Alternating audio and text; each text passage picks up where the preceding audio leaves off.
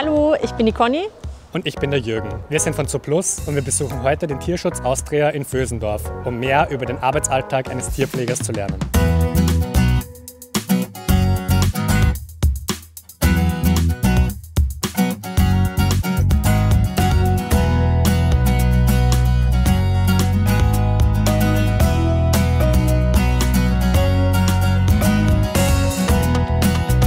Sind hier im Tierschutzhaus in Vösendorf. Das ist das größte Tierheim Österreichs. Wir versorgen im Jahr über 4500 Tiere, davon natürlich äh, viele Haustiere, aber auch Wildtiere und sogenannte exotische Tiere.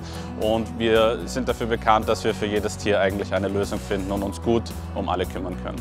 Aktuell haben wir ca. 1700 äh, Tiere bei uns. Das sind ca. 220 Hunde, gut 300 Katzen und der restliche Teil sind vor allem äh, viele Kleintiere und exotische Tiere, aber auch sogenannte Nutztiere, die bei uns zu finden sind. Also Tierschutz Austria gibt es schon 177 Jahre lang. Den Standort, wo wir jetzt sind, ähm, sind wir seit 25 Jahren. Wir versorgen hier über 4500 äh, Tiere im Jahr. Das Thema Tierschutz wird einfach auch deutlich größer und auch wir haben jedes Jahr noch mehr zu tun. Also am besten, äh, wir sind acht Leute. Vielleicht teilen wir uns in zwei Gruppen. Das wäre, glaube ich, das Allergescheiteste.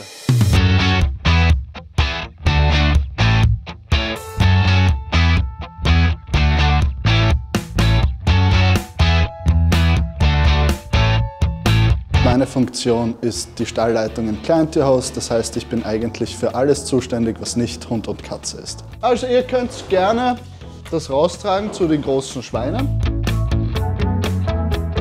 Wirklich mit zwei Händen überall verteilen. Sie ist die schwerste und größte von denen und sonst kriegt sie den Großteil. Und bitte nicht in den Gatsch schmeißen, eher weiter nach hinten.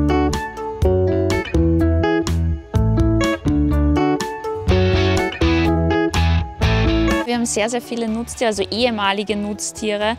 Die kommen auf die verschiedensten Wege zu uns. Zum einen einfach, weil eine Person nicht mehr das Geld dafür hat, die Tiere bei sich zu behalten oder weil die Leute die Tiere auf Pachtgründen halten und dann wird ihnen dieser Pachtgrund weggenommen, dann wohin mit die Tiere.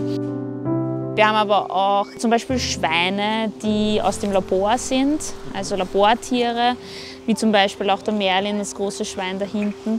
Der hat auch bei uns zum ersten Mal zum Beispiel Sonne auf seiner Haut gespürt und Dreck unter seinen Füßen.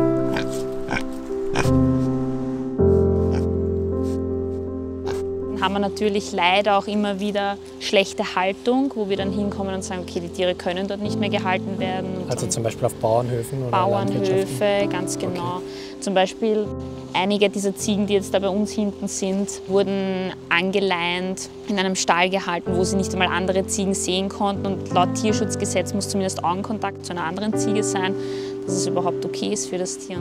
also da gab es schon ganz viele schiere Fälle und solche Tiere kommen dann natürlich auch zu uns.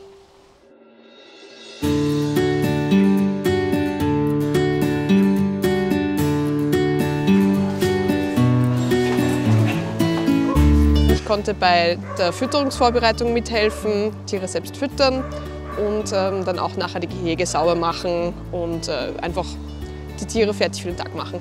Besonders Spaß gemacht hat mir die Tiere zu beobachten, wie sie neugierig aufs Futter waren und äh, einfach einen Arbeitsalltag mitzubekommen.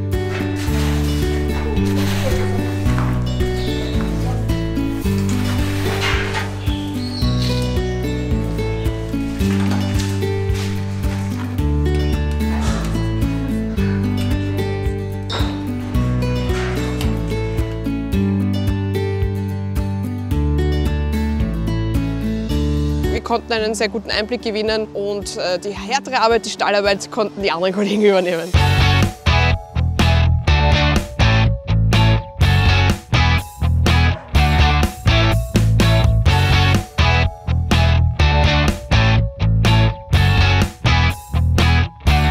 Besonders anstrengend fand ich, glaube ich, das Boxen ausmisten. Wir haben das zwar zu, zu dritt gemacht, aber ich glaube, alleine ist das schon eine ganz schöne Arbeit, wenn man das jeden Tag machen muss.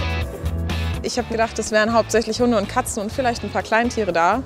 Aber tatsächlich äh, hatte das Tierschutzhaus auch ganz viele andere Tiere, zum Beispiel Affen, Krokodile und äh, Papageien und also so exotische Tiere da. Die habe ich hier nicht erwartet.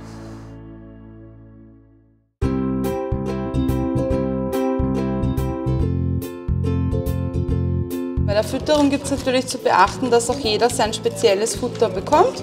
Wir haben äh, einen Kater drinnen, der darf nur Nierenfutter fressen, das habe ich jetzt gerade daher gerichtet. Und die anderen dürfen eigentlich alles essen. Die sitzen dann eh alle vor ihren Schüsseln und fressen brav alles auf. Guten Morgen, Giuseppe. So, der Giuseppe ist der Einzige, der nur das essen darf.